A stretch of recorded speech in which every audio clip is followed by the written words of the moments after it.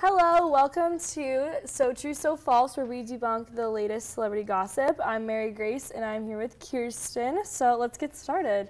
So for our first celebrity rumor, so true or so false, Kim Kardashian and Kanye West shared the Thanksgiving holiday together with family, fun, and food.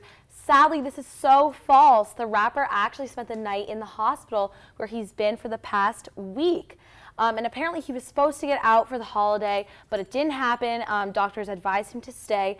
And the hospitalization comes after he canceled all of his, the rest of his um, The Life of Pablo concert tour dates. And at a show, he was ranting about um, Beyonce and Jay Z mm -hmm. and just kind of displaying a lot of erratic behaviors.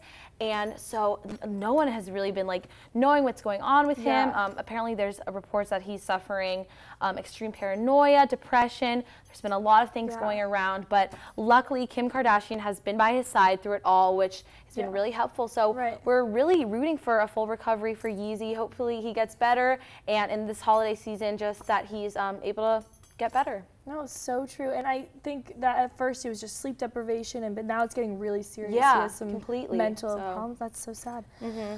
Well, next on So True, So False, Iggy Azalea and French Montana are getting serious, and this is so true, actually. So there was a lot of dating rumors between them. You know, they were seen together at restaurants, but then they kind of denied it, said they were friends, and then they just vacationed in Mexico and she went on this had a family dinner with them around wow. the holiday and TMZ got a video of her saying to his little brother that she wants to be part of the family soon. So I, I mean, there's no denying the dating rumors now. Like, wow, they, she's even talking like marriage possibly which is really great for her because her last breakup was just I, terrible for her because there was cheating rumors just oh, yeah. a lot of stuff oh that was on, bad so. that was bad and she's kind of gone under the radar a little bit because she hasn't come out with any new music recently so i think it's really exciting that there's like some positive news yeah. around iggy now that's love great her. for her honestly and yeah. speaking of love going on to our next rumor so true or so false american horror story stars emma roberts and evan peters are back together